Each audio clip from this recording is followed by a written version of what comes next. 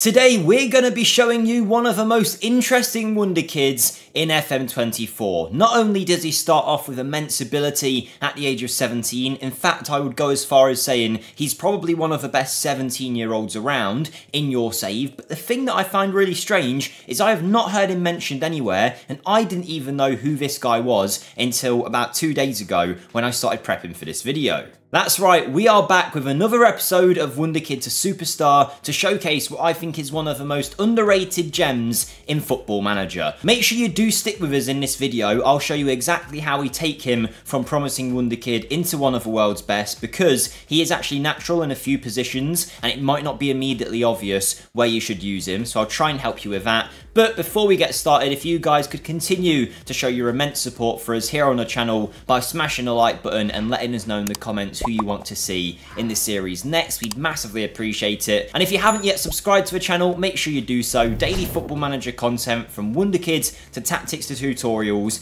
we've got it all. So make sure you hit that button. And with that being said, let's go and find this player. And we'll be heading over to France, a nation that's produced some of the world's best youngsters in recent years, but this one might be the pick of a bunch bunch. The club we're going to is Stade Rennes, and in their ranks you will find a youngster known as Mathis Lambourde, or Lamborda. I don't know exactly how it's pronounced, as you can probably tell I'm not a native French speaker, but this is a phenomenal talent, and I'm going to explain to you exactly what you can do to turn him from exactly what he is, a promising youngster, into one of the world's best. But let's start off with the basics. Price point, you'll be looking at about 9 to 10 million. This is with him on the highest potential in his potential range, so for you guys, you could get him for a little bit cheaper. His range in game is 140 to 170, so worst case scenario, you load up your save and he's a promising winger for the French divisions, and if you get him on the highest end of that potential, he is going to be one of the world's best players on that right flank or up front if that's where you choose to use him, but more on that later. Now, he has some very good attributes of a player of such a young age. He isn't necessarily stand out in one particular area, but technically he's already got 13 finishing, 13 first touch, and 12 dribbling, good passing vision and technique too. The crossing isn't the worst either, but I would recommend you use him as a goal scorer, whether that's up front or out wide as an inside forward. I wouldn't really be looking to use him as a winger or an inverted winger, at least not without focusing his training on that crossing attribute, but you can see he's already deadly when it comes to the physicals. He's maybe not the world's best there just yet. By the time he's 18 or 19, you'll see some huge growth in those areas of his game. So with that being said, you know all about him. Now let's move him to our Real Madrid team and show you what you can do to set him up for success. So first, tactically, you can see the role that I have chosen from today, and I'll explain why a little bit later, but we are playing a very simple 4-3-3 Gegenpress preset tactic, no additional instructions, the only thing I've done is move some player roles around to try and get the best out of our youngster here, Lambourde. We've got a deep lying forward in the hope that Lambourde can link up with him and get into some goal scoring positions, so you guys could definitely make a much better tactic and get better use out of your players than I have, but I've just gone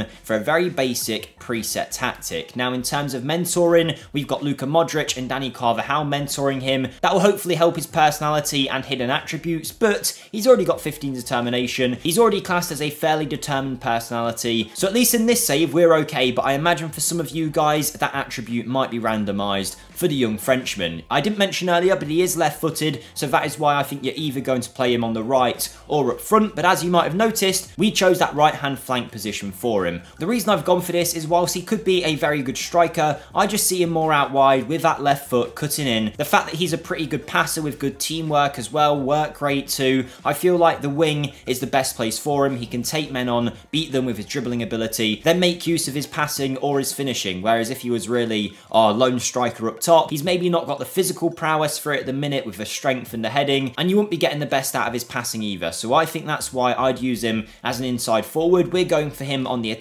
duty. Make sure whatever role you choose, you are training that though. That'll get the best impact from your player's training. And then when it comes to additional focus, you've got a few choices. One, if you want him to be a better crosser, you could definitely work on that because that's one of the weakest sides of his wing game that he's going to need. I wouldn't do anything to his physicals, even though his strength is a bit low. Over time, that is going to go up just naturally getting older as a player. And his mentals are also pretty strong. I think for me, I would be working on his passing to try and get that a little bit higher than 12. But for you guys, feel free to do what you want. That's what I go for. But for the sake of the simulation, we're going to leave the additional focus blank as we do for every player. Now though, Mathis is ready to go, so we're going to simulate a few years to see how he might look on the lowest end of that potential range. And as you can imagine, because of those great attributes he starts with, he took to Real Madrid like a duck to water. And here he is at age 19 with about 144 current abilities. This is really close to the worst possible scenario you could get full growth for Mathis Lambourde. So for your £9 million investment, worst case, you'll be looking at a player that looks something like this, with incredible ability all around, a direct threat to any defender. He's got great passing, vision and technique, great first touch, finishing and dribbling. He's worked on his physical attributes, his strength has gone up, his long shots too, and in fact now, if you wanted to, now you could maybe make him an advance forward and you get some great results out of him. But we're going to keep him on the wing for the whole of this simulation. He's been doing really well there for us, and you can see his attributes are developing really nicely. He's now a 50 million pound player with two goals for the under 21 French national team, and for Real Madrid, he has been immense. Season 1, 9 goals, 9 assists. Season 2, 1 goal less, but a bunch more assists with 14. Of course, he's only a young 19 year old here, so to be doing this well already is very impressive, but now we're going to simulate a few years ahead to see how he might look in his prime.